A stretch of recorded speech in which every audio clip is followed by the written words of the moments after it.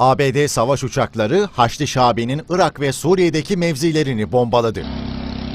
Irak'ta 3, Suriye'de 2 noktada Haçlı Şabi'ye ait cephanelik ve komuta merkezi vuruldu. Hava saldırılarında 25'ten fazla kişinin öldüğü açıklandı.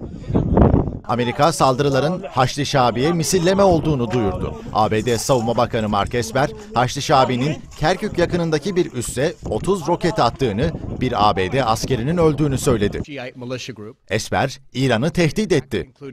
Başkan Trump ile İran destekli örgütlere karşı kendimizi savunmak için mevcut olan diğer seçenekleri de görüştük.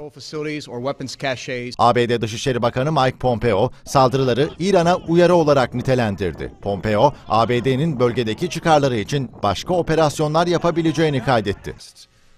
Bugün Irak'ta attığımız adım Başkan Trump'ın da aylardır belirttiği gibi İran'ın Amerikan askerlerinin hayatını tehlikeye atması durumunda kendilerine vereceğimiz net bir cevap konusundaki kararlılığımızı göstermektedir.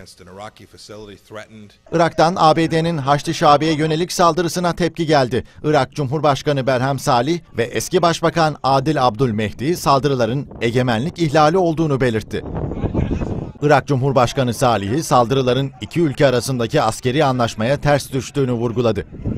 Irak meclisinde de saldırı kınandı. Fetih Koalisyonu meclise Amerika'yı Irak'tan çıkarma çağrısı yaptı.